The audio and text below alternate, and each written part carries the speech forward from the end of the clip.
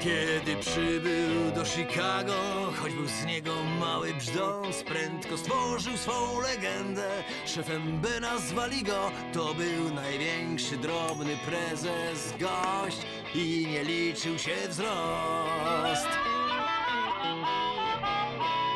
Zarząd przed nim trząsł portkami, on rozwijał biznes wciąż, no i założył solidarne zawodowe związki, bo to legendarny gość, legenda szefa B.